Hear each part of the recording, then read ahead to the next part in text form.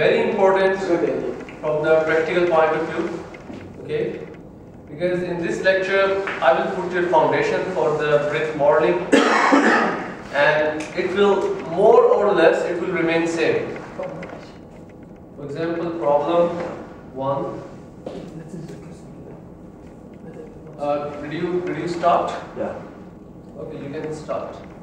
You can start. So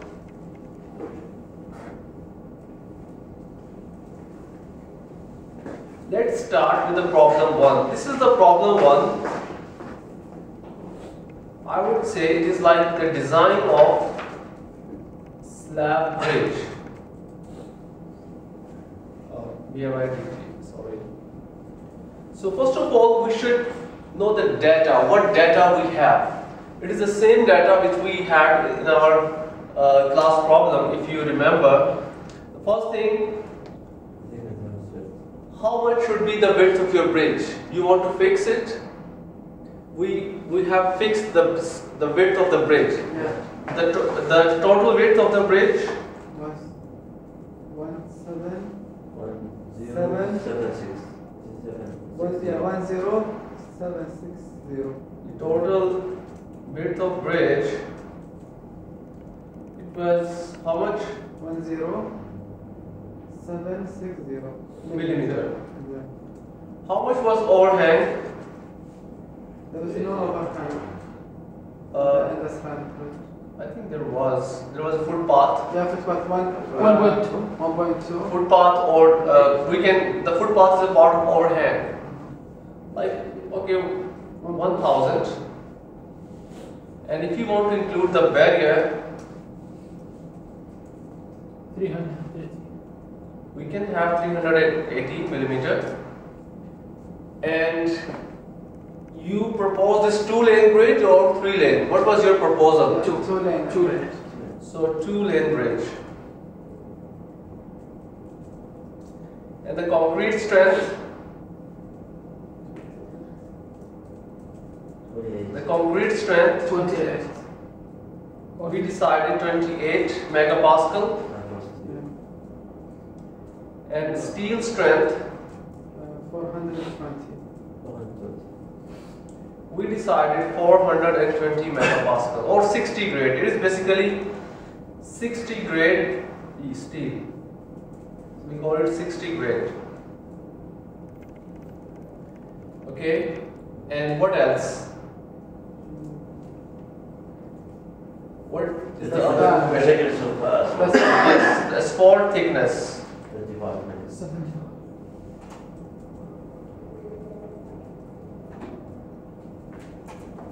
The thickness was uh, 75 mm. Okay. Bridge span. Uh, yes, the span of the bridge. That is a, one of the most important thing. The effective span. It means center to center span. Let's take it 8000 millimeters. Other than that, you can decide about how much should be the margin for PCC, I mean the cover. For example, above the road surface, above the concrete surface, we give some margin of the, of the concrete so that during the replacement of asphalt, uh, then uh, it will erode some concrete so there should be no damage to the real slab. Maybe that margin you can take it equal to it's up to you, or you can increase the total depth of the slab. And we also find the H minimum, H minimum of the slab uh, from, from the from the AASHTO. Uh, if you remember, there was a formula. As Yeah, I remember the formula. one point two. So let me add that uh, equation for H minimum. It is from AASHTO. I'm not going to show you from where I got that equation because I have shown this many times before. So I don't want to use the board, that's why I'm using my computer. H minimum, how much is that? It was S One point two nine. 1.2S, Yeah. it was uh, 1.2 S Plus, plus three, three thousand, how much that? uh, 1.2 S plus 3000 Yeah, over 30. over 30 where uh, S is the span of the effective span of the slab. So if you use this equation, we got how much? Four hundred forty. 100, Four hundred forty. 440. So we decided something around 450, I remember. Yeah. So this is the data which we have. Now we have to we have to put all this data in our computer model. Okay. So let's move one by one. Yes. If you want to push back the road, one, You want footpath? it was. Yeah, it was. But let's proceed with this. If you, I, I, I will tell you how you can add the footpath load. Don't worry. I, I will tell you how you can add any load on the slab. Median load, footpath, barrier. I will tell you. But first, let's start with the basic one. Okay. So, this is the data which we had in our problem, and this is the set. Now, we want to see the same bridge here. You can uh, start with a bridge template, but I will show you how you can start working from scratch, from beginning. I mean, you have nothing. Uh, I wish that my computer will work in a better or a perfect way. So the first thing, we will go and change the units to Newton millimeter uh, before I start, let me tell you, I already explained you what is the difference between x, y and z axis and 1, 2 and 3. Do you remember? Yes. 1, 2 and 3 are the local axis for the member like u1 along the length, Yeah. u2 along the width and u3 is the height. Am I right? Or No, sorry, 2 was the height Yeah. and 3 was the weight. For example, the load along 2 will produce moment about. 3. Three. 3. The one is along the length of the member. Okay. So let's start with the file new model blank. So the units I just want to make sure I put the yeah, units Newton millimeter and it is blank. So the first thing I told you uh, define. In the define command we can define many things. We can define loads, we can define Materials, we can define sections like I section or what type of section. Let's first go to the materials and define the materials. For example, how to how we can define material? We have only one concrete strength, and that is 28 megapascal. So we can. This is one existing concrete material. Either we can start working, we can copy, we can make a copy of this material, or we can add new material. For example, I can give this material a name. I give this name concrete 28 and it is Concrete. Uh, now, if you have used the the concrete and you you have used, for example, here if you see the weight per unit volume, now you have to give the accurate weight per unit volume of the concrete. If you see how much is the weight per unit volume in this units, Millisecond. two, 240,000. it should be. If you are familiar with the kilonewton meter, so it should be 24 kilonewton per cubic meter. Yeah.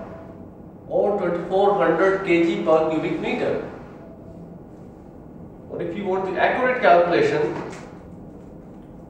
it should be 2400 multiplied by Nine, nine volts, eight volts. 9.81 over 1000. Calculate. This is the accurate one. Mass per unit volume, there is no need to change. Now E value. How to calculate the E value for the concrete? According to the ACI code, there is a formula for that. Okay. You know, if you see all these values are for the steel. The steel has E around 200,000. The steel has E value around 200,000 megapascal or 200 gigapascal.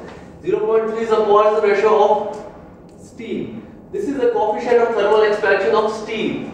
This is the G steel. So because you are now making a new material, so that's why all the properties of the steel has been there. But if you want to avoid, for example, if you have any doubt about this, what you can do, you can use this and you can start working on this material. For example, just click on this and say add copy of material. Now it will make a copy of the material but it will have the basic concrete properties. Like if you see the weight per unit volume is already there.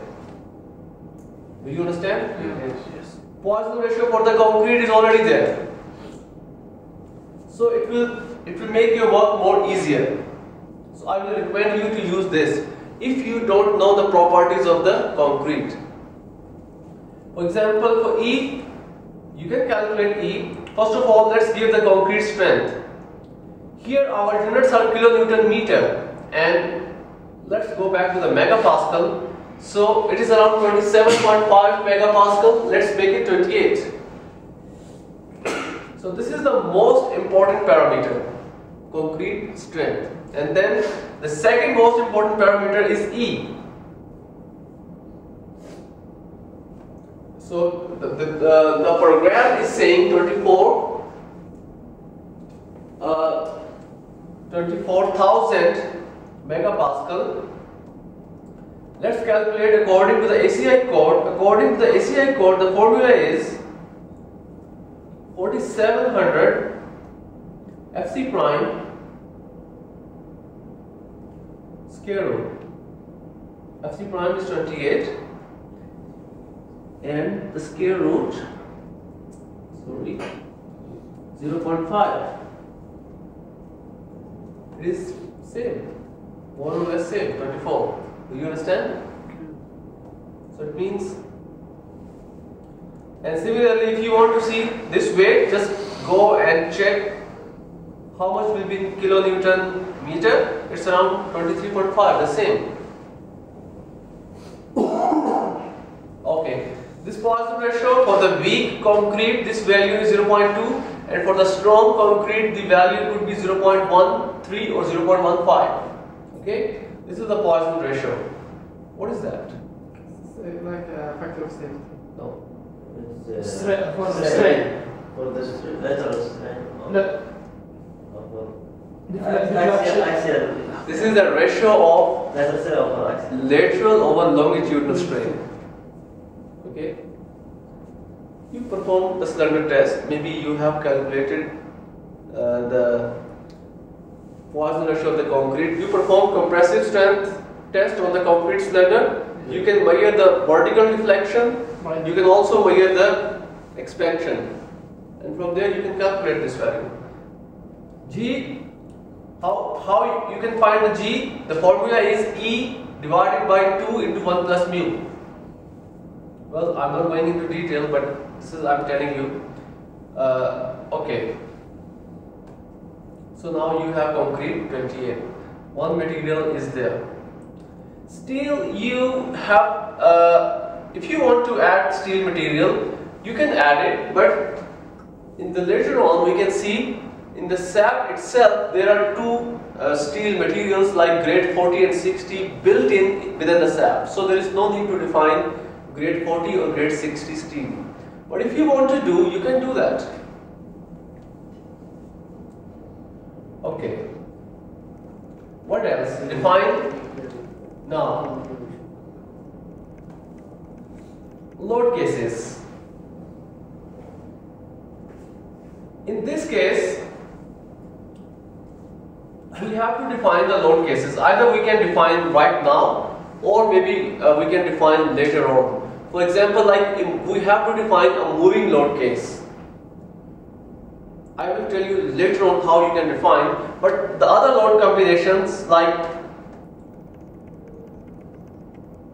uh, for example, this is the command load patterns by which you can add different load, different types of load which you will use.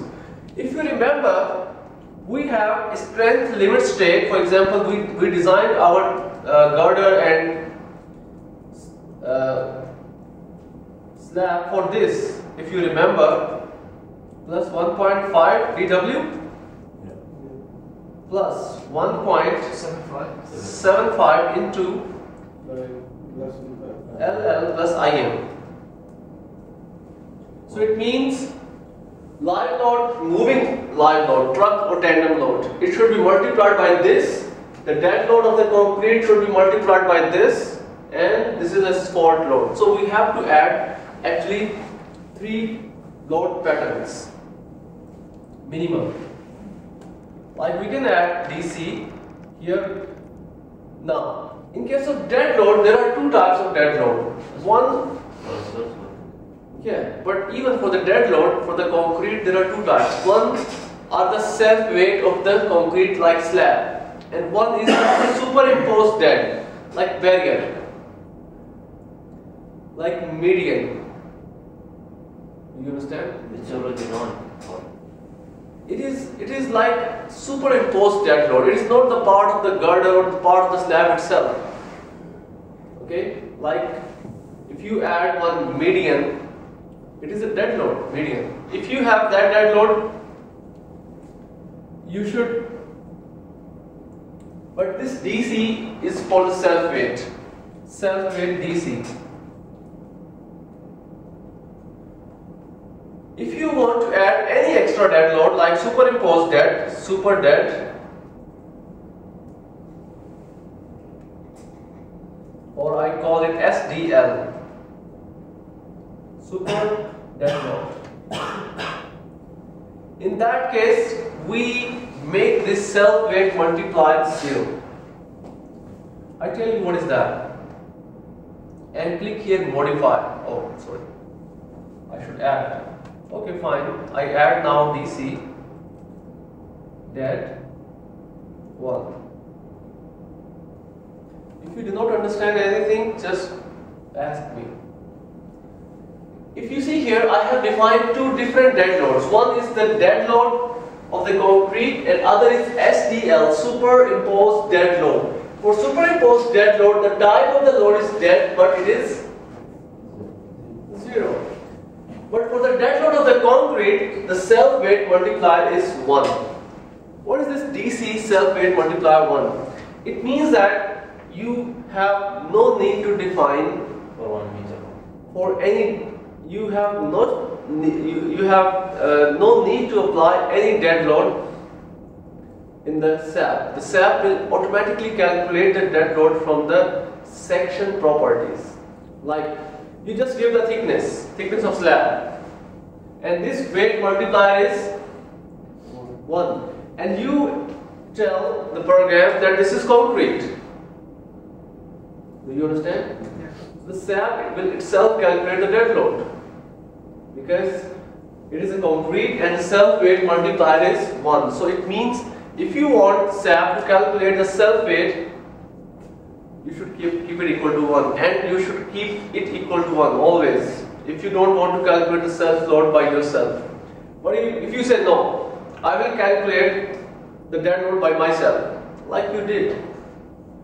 For example, that you calculate the thickness multiplied by the density multiplied by the 9.81 and you find out like maybe 6 kilonewton per square meter.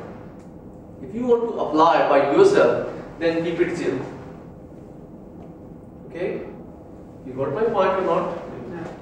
For example, when we model a building or a bridge, there are many components for which you just give the sizes. Like size of girder, like transom, like capping. But if you make this one and you tell the type of material concrete, it will automatically calculate. Okay? But the superimposed dead load, why I put zero? Because this load I want to give by myself. You understand? If you understand, good, and I hope you understand. Now, any other type of load which you want to define here? DW, asphalt, Yeah, very surface. wearing surface. It is also dead load. And add new load pattern. The load is there. Live load. For example, if there is any normal live load,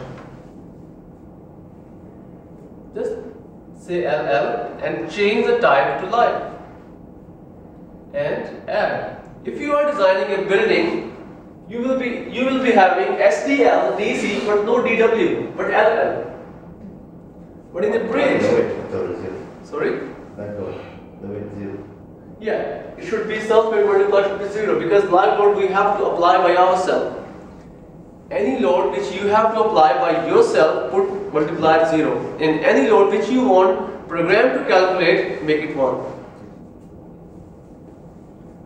So I just delete it or uh, sorry more.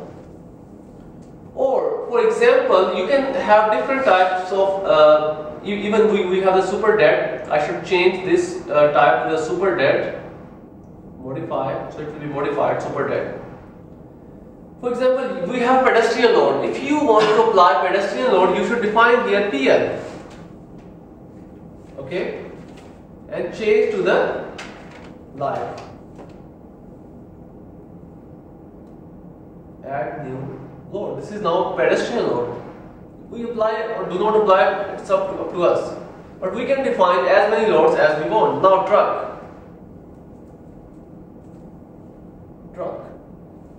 Truck will be what type of load? Let's see. Which one? Live or bridge live? Bridge live. It should be bridge live.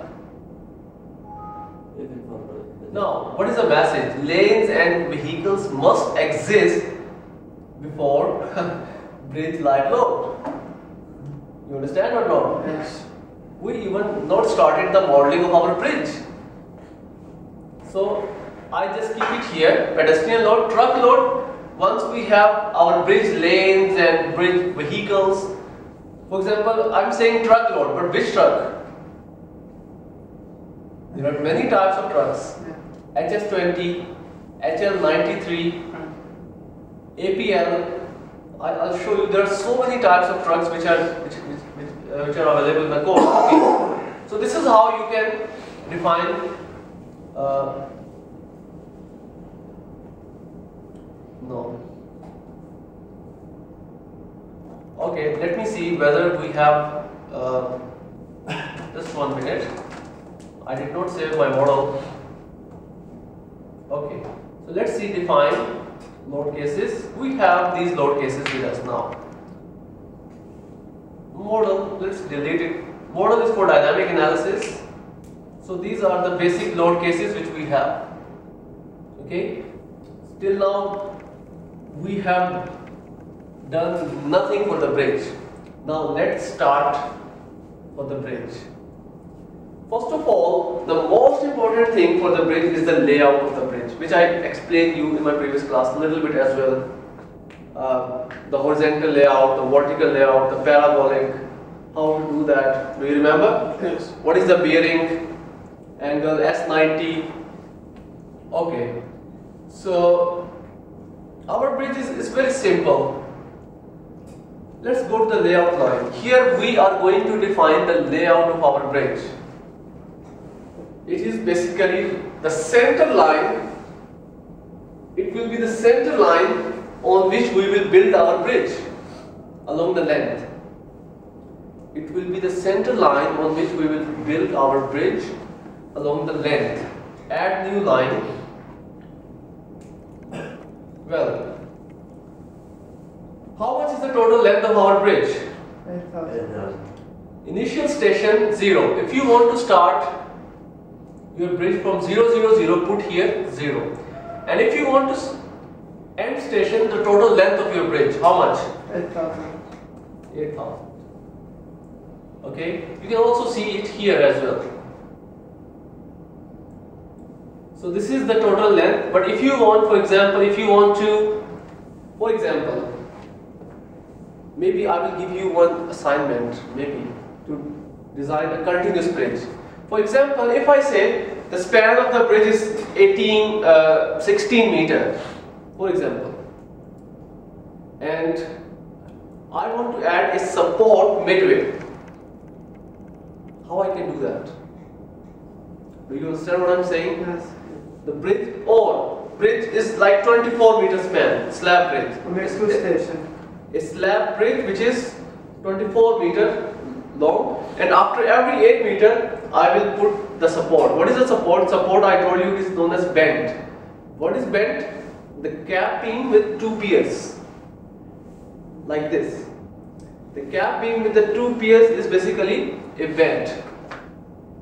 Should I tell you how we can do that? Which more than one station? For example, you want to design a continuous bridge with two supports, two bents.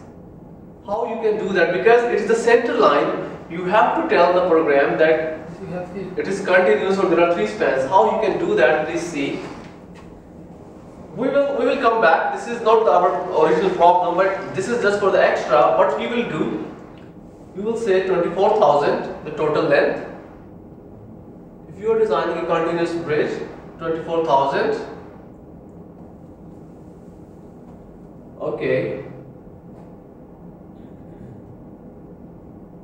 And here you will add one station. Eight thousand. Yes, sir. Sixteen thousand. First, I should uh, select the from here straight at previous bearing to the station. Okay.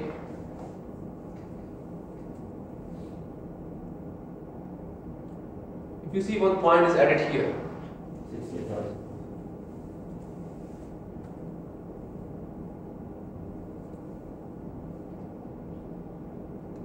Or the other way, you can also add a bent later on. But this is the one way. So it means now you have how many stations? Four. One, two, three, and four. Okay. So at these locations we will add bents. Yes. Why you define it in the horizontal layout? Why we didn't define it in the vertical layout? We should. We should also uh, in the horizontal layout. Why I define the horizontal layout? Because uh, I want to give the slope. For example, if your bridge is flat, vertical layout is basically the profile, vertical profile of your bridge. Okay, the horizontal layout is the horizontal layout of the bridge. If you want to give, you just added a station, okay, but you don't want to, if you give any value, for example, you give like 5 degree, station 2, or the angle value, it will move to the 5 degree. But if you keep it 0, it will be, it will be there. So adding more points give you more flexibility. But it does not mean that you should give the angles. This is what I wanted, wanted to say. Do you understand what I'm saying? Well, if you are not comfortable, go to the vertical layout and add the same stations. This is just for the sake of example. If you want to add bent later on, you can also do it later on. Okay, I, later, I, I will also tell you how you can do it later on. For example, just keep it 8000, go back.